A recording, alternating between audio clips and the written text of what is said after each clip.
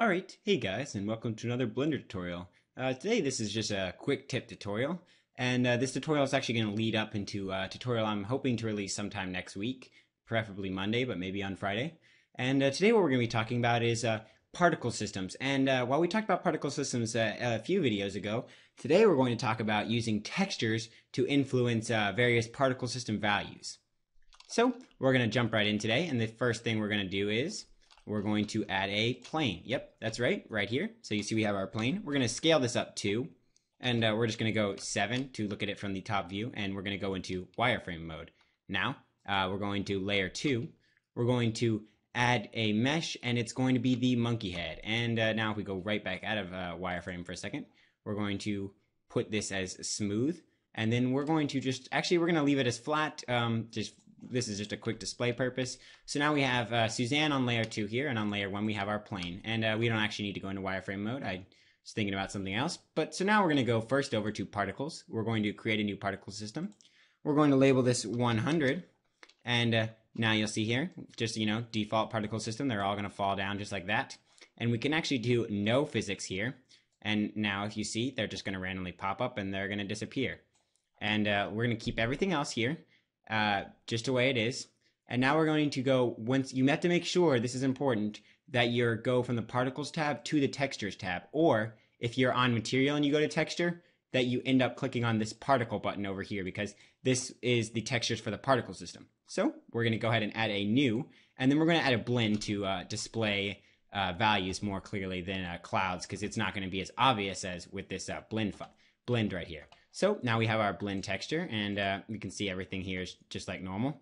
And uh, we're going to make this easing as well just to make it a nice, nicer thing here. And now you see there are various different influences here. And this is really what we want to focus on. The influences here are going to uh, affect various parts of our particle system. And you can use any texture, including image textures, to influence all of these uh, values here. And so this allows us to more fine, have more of a fine point control over particle systems. And it allows us to do some really cool stuff. Like for instance, right now, so if we uncheck this time here and we press Alt A, there uh, the points, as you see in wireframe mode, they just pop up in random points and then, you know, they expire their lifetime and they disappear. But what we can do that's really cool is if we check time here, and now we press Alt A, you'll notice that they slowly come across here because uh, the black value here to white value here in the texture. So that's pretty cool. So basically you're affecting black to white. White will be later and black will be um, earlier. So the black will be first and white will be last, and it'll just slowly go across just like that.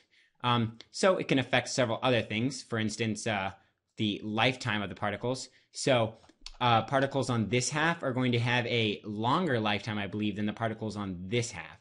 So we'll notice how quickly these ones over here are going away, whereas these ones are staying a bit longer. And uh, we're going to see this a little bit more accurately if we go back over to our particles tab and we select object and then we select our Suzanne here just for uh, display purposes and we go 0.25 size.